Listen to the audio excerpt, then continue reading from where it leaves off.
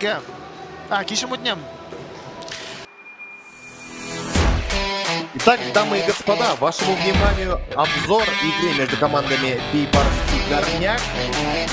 Моменты начались именно с атак Бейбарса, который чувствовал себя в игре очень и очень уверенно, и таким образом открыли и вовсе они счет а, за счет успешных действий атаки, а именно Максима Кунишникова, который открыл счет голланд в этой встрече, найдя брешь в воротах Нурека. Тем не менее, Горняк, э, зная, как играет Бибарас после предыдущих э, матчей, атаковать также начал достаточно серьезно. Напомню, в предыдущих играх Горняк обыгрывал Бибарас, но в этот раз сильнее оказались хозяева дворца. Счет увеличил на табло Тимур Шингареев, э, новобранец команды. Также подошел к воротам Владислава Нурека и прошил ворота голкипера. Тем не менее, в начале второго периода увидели мы первый гол Айдара Галимова, который сократил отрыв от хозяев площадки. Буквально никто не мешал Айдару, который достаточно легко забросил шайбу в ворота.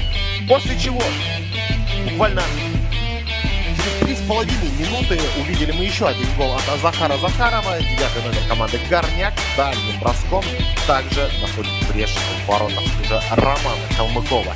Замечательный гол и замечательный бросок.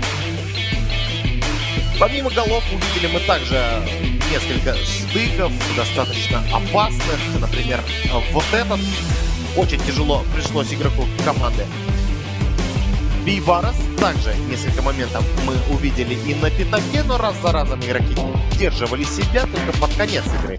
Клочков а, с Захаровым не поделили между собой площадку, но частью подоспели судьи и все сохранилось спокойствие. Также и в этом моменте Удибаев максимально серьезно был э, нацелен на ворота, но взять ворота него не получилось. Что как раз таки наоборот получилось у вернувшегося в Бейбарас Артема Ананичева, который с замечательной передачей и замечательной комбинацией набросил шайбу, уже можно сказать, пустые ворота, но Рек никак не успевал помешать Артему, и счет у нас стал 3-2. После чего моментов у Бейбараса стало еще больше, игры, э, скорость игры сама стала еще быстрее.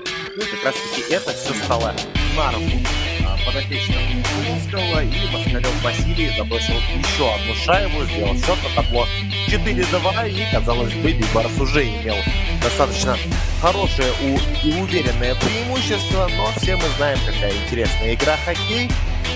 И после серии стыков, серии атак. Вот так вот. Забрасывает э, шайбу Патра Маркабаев, уверенно отведя Романа Калмыкова. Меня отскочившую шайбу, делает счет на табло 4-3. Тем самым сделав игру еще интереснее. Казалось бы, Горняк имел все шансы для того, чтобы сравнять счет. Было и большинство были вот такие вот моменты, за которых раз за разом Роман Калмыков оказывался на высоте.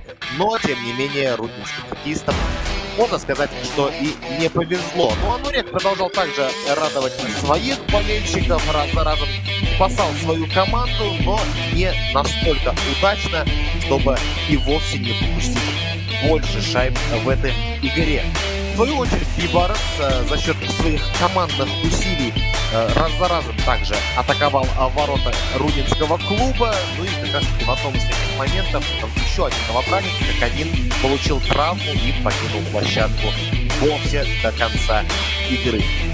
Горняк, тем не менее, также имел моменты, и, повторюсь, Роман Калмыков также с помощью своей защиты и за счет своих полезных действий сохранил свои ворота неприкосновенности, э, был максимально полезен. Здесь и вовсе штангу угодила в штангу, здесь шайба угодила в штангу, и шайба в ворота все-таки не влетела.